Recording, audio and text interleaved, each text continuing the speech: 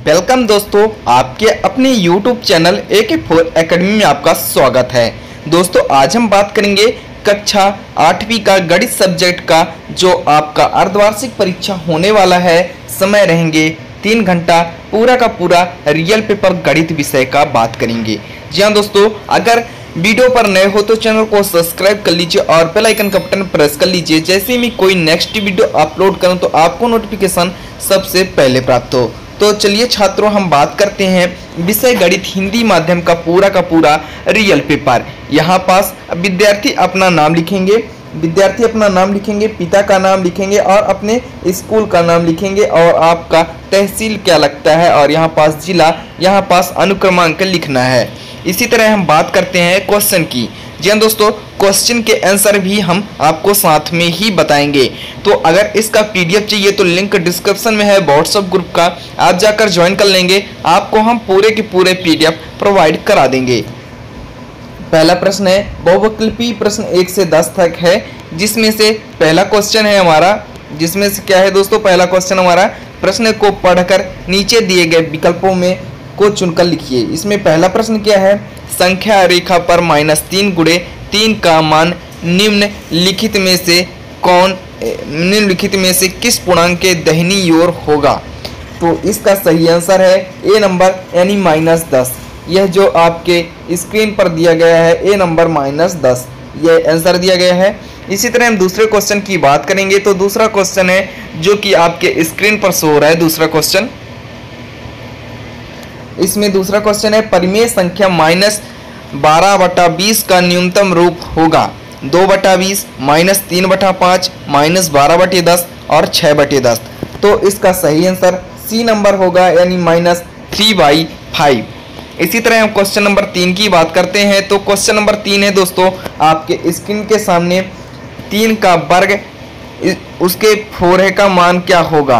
तीन के वर्ग सी तीन के घाते आठ, तीन के घाटे चौबीस और तीन के घाते बयालीस। तो इसका मान होगा three by eight B number इसका सही आंसर होगा, जो कि आपके स्क्रीन पर दिया गया है। इसी तरह हम बात करते हैं क्वेश्चन नंबर चार की। तो जी हाँ दोस्तों क्वेश्चन नंबर चार आपके स्क्रीन पर सो रहा है। किसी संख्या का एक बटे पाँच, उसी संख्या से बीस कम है तो समीकरण होगा। एक्स बटे फाइव बराबर एक्स माइनस बीस बी बराबर बी क्या है? एक्स माइनस वन बटा फाइव बराबर एक्स माइनस बीस और सी है एक बटा पाँच माइनस बीस बराबर एक्स एक्स बटा बीस बराबर एक्स माइनस फाइव। तो इसका सही आंसर बी नंबर है, यानी एक्स माइनस वन बटा पाँच बराबर एक्स माइनस बीस। इसका सही आंसर है। इसी तरह हम बात करते हैं क्वेश्चन नंबर पाँच की। तो क्वेश्चन नंबर पाँच, जो कि आपके स्क्रीन पर शो हो रहा है, छात्रों, सात बटे बीस का प्रतिशत क्या होगा? तो सात बटे बीस का प्रतिशत निकालेंगे तो पहला सात हज़ार सात सौ परसेंट है, दूसरा पैंतीस परसेंट और तीसरा सात परसेंट और चौथा पच्चीस बटे सात परसेंट। तो इसका सही आंसर पैंतीस होगा, यानी पैंतीस परसेंट होंगे। इसी तरह हम अगला क्वेश्चन देख लेते हैं। पैंसठ डिग्री माप के कोण का पूरक पूरक कोण का माप क्या होगा? तो 25 डिग्री होगा, ना कि 80 डिग्री होगा, ना 15 डिग्री, ना 125 और इसका सही आंसर होगा 25 डिग्री। इसी तरह हम बात करते हैं क्वेश्चन नंबर सात की तो क्वेश्चन नंबर सात जो कि आपके स्क्रीन पर शो हो रहा है। क्वेश्चन नंबर सात, आप देख सकते हैं, किसी त्रिभुज के दो अंत कोणों का माप 60 डिग्री और 40 डिग्री है तो तीसरा अंत कोण क्या होगा? इसका सही आंसर है 80 डिग्री 20 डिग्री 60 डिग्री और पैंसठ डिग्री। तो इसका सही आंसर है 80 डिग्री, आप देख सकते हैं। क्वेश्चन नंबर आठ की बात करेंगे तो क्वेश्चन नंबर आठ जो कि आपके स्क्रीन पर शो रहा है क्वेश्चन नंबर आठ। किसी चार सेंटीमीटर वाले भुजा का वर्ग का क्षेत्रफल क्या होगा? तो 16 सेंटीमीटर स्क्वायर होगा। इसमें ऑप्शन क्या क्या है? 8 centimetre square 12 centimetre square 16 centimetre square और 20 सेंटीमीटर स्क्वायर। तो इसका सही आंसर है 16 सेंटीमीटर स्क्वायर। क्वेश्चन नंबर नौ की बात करते हैं। तो क्वेश्चन नंबर नौ है, निम्नलिखित संख्याओं का बहुलक होगा। दो छः पाँच, चार, ज़ीरो, तीन, चार, तीन, दो, चार, पाँच, चार चार। तो इसका सही आंसर है चौथा नंबर यानी चार। किसी घनाभ के शीर्षों की संख्या क्या होगी? जी हाँ दोस्तों, किसी घनाभ के शीर्षों की संख्या क्या होगी? तो इसका सही आंसर है आठ। इसी तरह हम बात करते हैं क्वेश्चन नंबर ग्यारह की। तो क्वेश्चन नंबर ग्यारह में क्या है? नीचे दिए गए प्रश्नों के उत्तर लिखिए। समीकरण को हल कीजिए। थ्री एक्स प्लस टू बराबर तेरह दिया गया है। तो इसको हल करेंगे। थ्री एक्स बराबर तेरह माइनस टू। थ्री एक्स बराबर ग्यारह हो गया। एक्स बराबर इधर थ्री चला गया तो ग्यारह बटे तीन हो गया। एक्स बराबर ग्यारह ग्यारह में तीन का भाग देंगे तो three point six seven answer आ जाएगा आपकी स्क्रीन पर शो हो। रहा है इसी तरह हम बात करेंगे क्वेश्चन नंबर बारह की तो क्वेश्चन नंबर बारह जो कि आपके स्क्रीन पर शो रहा है, यदि रोहन के घर के यदि रोहन के घर से स्कूल की दूरी बाई माइनस फाइव मीटर है तो उसे घर से स्कूल और स्कूल से घर जाने में कुल कितनी दूरी तय करनी पड़ेगी? तो रोहन से रोहन के घर से स्कूल की दूरी बाई माइनस फाइव है और उसको जाने में बाई माइनस फाइव है और आने में तो बाई माइनस दो बार हो गया, बाई माइनस फाइव और बाई माइनस फाइव, इस दोनों को जोड़ देंगे तो टू बाई हो जाएगा और पाँच पाँच टेन हो जाएगा। बाई बराबर टेन बाई टू हो जाएगा, बाई बराबर पाँच आया, यानी बाई बराबर पाँच कहाँ से आएगा? दस में दो का भाग दे देंगे। इसी तरह हम बात करते हैं क्वेश्चन नंबर तेरह की। तो क्वेश्चन नंबर तेरह जो कि आपके स्क्रीन पर सो रहा है यदि चाय बनाने के लिए दूध और पानी का अनुपात एक अनुपात तीन रहता है तो दो लीटर दूध से चाय बनाने में कितनी पानी की आवश्यकता पड़ेगी? चूँकि दूध और पानी का अनुपात वन अपान, वन अनुपात तीन है, अतः दो लीटर दूध से चाय बनाने की मात्रा छः लीटर होगी। दो लीटर दूध से बनाने की मात्रा छः लीटर होगी। इसी तरह हम बात करते हैं क्वेश्चन नंबर चौदह। तो क्वेश्चन नंबर चौदह जो कि आपके स्क्रीन पर शो हो रहा है ज़ीरो पॉइंट पचास प्रतिशत को लिखिए, ज़ीरो पॉइंट पचास गुड़े सौ, इसका मान क्या होगा? Zero zero five point zero percent, इसका पाँच परसेंट आंसर सही होगा। क्वेश्चन नंबर पंद्रह, जो कि आपके स्क्रीन पर सो रहा है, क्वेश्चन नंबर पंद्रह, आप देख सकते हैं, एक वस्तु को एक हज़ार में खरीद कर ग्यारह सौ में बेचा जाता है तो लाभ का प्रतिशत बताइए, दस परसेंट होगा, बट आप देख सकते हैं, लाभ परसेंट इंटू लाभ बटा क्रय मूल्य गुड़े सौ, चूँकि लाभ सौ रुपये है। तो सौ गुड़े एक हज़ार गुड़े सौ, यानी लाभ प्रतिशत बराबर दस परसेंट बचेगा। आप देख सकते हैं, इसी तरह हल पूरा का पूरा कर दीजिएगा, आपको पूरे के पूरे नंबर मिल जाएँगे, कोई दिक्कत नहीं है।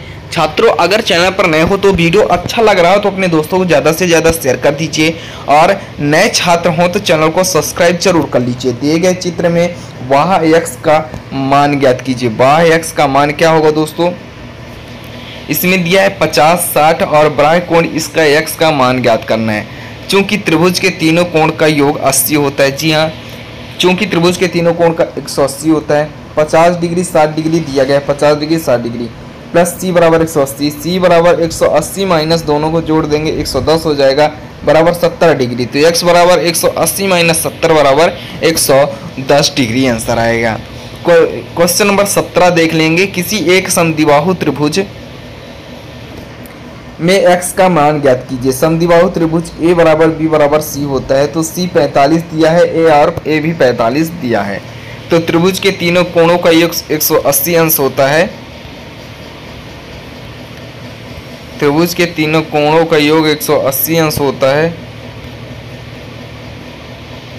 तो देख सकते हैं दोस्तों, ये प्लस बी प्लस सी बराबर 180 और 45 धन एक्स धन 45 बराबर 180 तो 45 दूना नब्बे होगा। क्या होगा दोस्तों? 45 दूना नब्बे होगा। तो अतः तीनों त्रिभुज सर्वांगसम है। क्वेश्चन नंबर 18 की बात करेंगे तो क्वेश्चन नंबर 18 दिया गया है। आपके स्क्रीन पर दिए गए त्रिभुज ए बी सी में और त्रिभुज पी की ओर सर्वांगसम है या नहीं?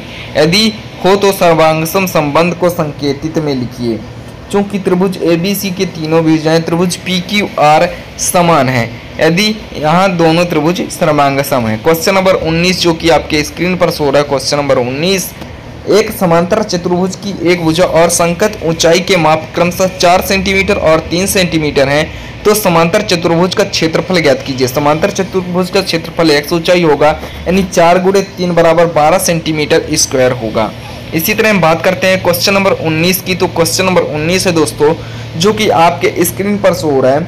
एक समांतर चतुर्भुज, ये 12 सेंटीमीटर होगा, इसको लगा चुके हैं। क्वेश्चन नंबर 20 देख लेंगे।